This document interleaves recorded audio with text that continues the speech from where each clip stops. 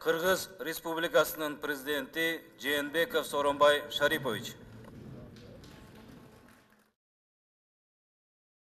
урматтуу сооронбай шарипович урматтуу депутаттар урматтуу мухаммедкали дүйшекеевич кыргыз республикасынын өкмөтү жөнүндө кыргыз республикасынын конституциялык мыйзамынын жетинчи беренесине ылайык кыргыз республикасынын өкмөт мүчөлөрү өз кызматына киришип жатып кыргыз республикасынын президентинин жана жогорку кеңештин депутаттарынын катышуусунда ант берүү берүүлөрү тийиш.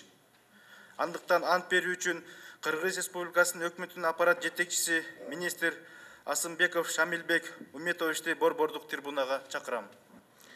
Мен асымбеков шамилбек үметович кыргыз республикасынын өкмөтүнүн аппарат жетекчисинин министринин кызматына киришип жатып өз элимдин кыргыз республикасы жогорку кеңешинин жана кыргыз республикасынын президентинин алдында кыргыз республикасынын конституциясын жана анын мыйзамдарын ыйык сактоого өз милдеттеримди ак ниет жана билдирип аткарууга жана кыргызстан элине кызмат кылууга ант берем. Берген антымды бузган учурда кыргыз республикасынын мыйзамдарына ылайык жоопкерчиликке тартууга даярмын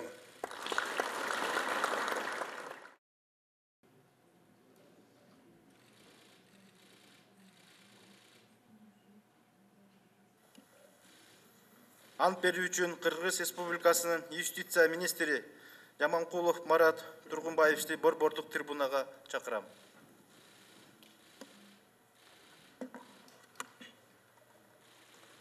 мен жаманқұлов марат тұрғынбаевич қырғыз республикасының юстиция министрінің қызметіне кірішіп жатып өз елімден қырғыз республикасының жогорку кеңешин жана қырғыз республикасының президентінің алдында қырғыз республикасының конституциясын жана анын мыйзамдарын ыйык сактоого өз милдеттеримди ак ниет жана берилип аткарууга жана кыргызстандын элиме кызмат кылууга ант беремин. Берген антымды бузган учурда кыргыз республикасынын мыйзамдарына ылайык жоопкерчилик тартууга даярмын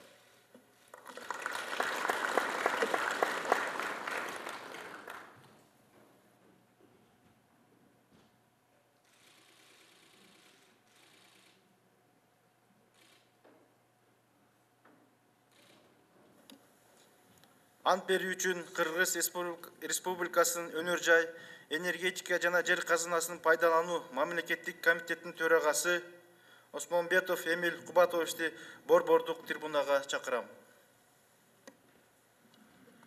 Мен осмонбетов эмил кубатович кыргыз республикасынын өнөр жай энергетика жана жер казынасын пайдалануу мамлекеттик комитетинин төрагасынын кызматына киришип жатып өз элимдин кыргыз республикасы жогорку кеңешинин жана кыргыз республикасы президентинин алдында кыргыз республикасынын конституциясын жана анын мыйзамдарын ылайык сактоого өз милдеттеримди ак ниет жана берилип аткарууга жана кыргызстандын элине кызмат кылууга ант беремин. Берген антымды бузган учурда кыргыз республикасынын мыйзамдарына ылайык жоопкерчилик тартууга даярмын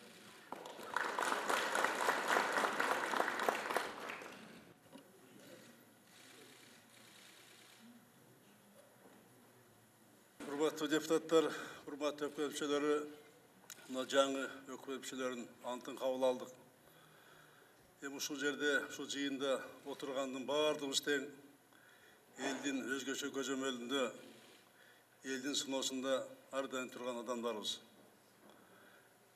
ар бирибиздин ар бир кадамыбыз жасаган ишибиз элдин элегинен өтөт элдин сыноосунан өтөт мына мезгилде коомчулукта ушу аткаруу бийлигиндеги иштеп аткан кээ бир адамдар боюнча алардын жүрүм туруму боюнча кылган иштери боюнча абдан көп сыноолор айтылып атат талкуулар жүрүп атат мына ушундай нерселер болбош керек ушу биздин ушул жерде отургандардын басканын басканын жүргөнүн жүрүм турумун көрүп туруп эл жалпы эл жалпы үч бийликтин бутагына жана бизге ою калыптанат ошону менен ар бирибиздин аракетибиз менен мамлекеттик бийликке элдин ишеничи келет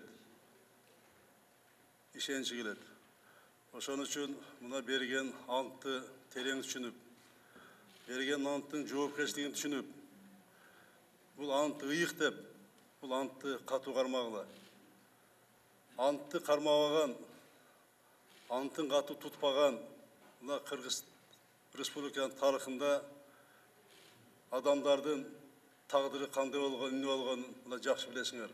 И эмне болуп атканын жақсы білесіңдер.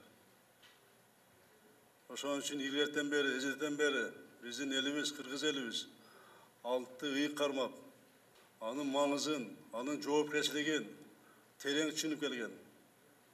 Ошон үчүн антка терең маани берип антка терең түшүнүп анын жоопкерчилигин сезип ушул трибунада турган антыңарды унутпай ар дайым эртеме ишке келгенде кечинде кетип атканда кудайды эстегенде антыңарды эстеп жүргүлө.